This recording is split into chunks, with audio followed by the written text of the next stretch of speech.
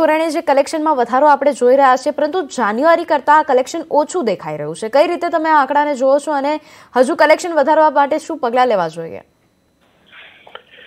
જાન્યુઆરીથી કલેક્શન ઓછું કહેવાશે, પણ જે કલેક્શન આવી રહ્યું છે, હું છેલ્લા ઘણા સમયથી મારું સીએનબીસી ઉપર રહે છે. મેં ત્રણ વર્ષ પહેલા એવું કીધેલું, જ્યારે નાઇન્ટી એટ થાઉઝન્ડ કરોડ જ્યારે આવતું હતું, ત્યારે મેં કીધેલું કે દોઢ લાખ કરોડના પાર અગર જીએસટીમાં જશે કોવિડ આવી ગયું કોવિડનો સમય ગયો, હવે ઘણું સારું કલેક્શન આવી રહ્યું છે.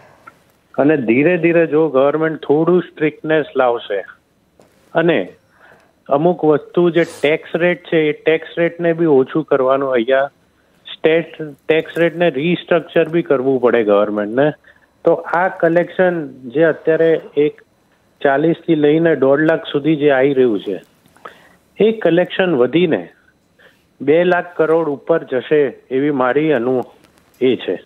અને ખાસ જો આમાં આપણે જોવા જઈએ, તો એક તો ઇન્ફ્રાસ્ટ્રક્ચરને લાગતી જે બી કોમોડિટીઓ હોય, ધારો કે સિમેન્ટ છે સ્ટીલ છે, વગેરે જેવી કન્સ્ટ્રક્શનમાં લાગતી કે જે ગવર્મેન્ટનું છે મેક ઇન ઇન્ડિયા અને ઇન્ડિયાનું ઇન્ફ્રાસ્ટ્રક્ચર જે વધારવાની વાત છે અને જે વધી રહ્યું છે જે રીતે, મેટ્રો છે, બીજી બધી ફેસિલિટીઓ છે, તો આની અંદર જે મેજર કોમોડિટી જે છે રો મટીરિયલ એ એક બાજુ સ્ટીલ છે સિમેન્ટ છે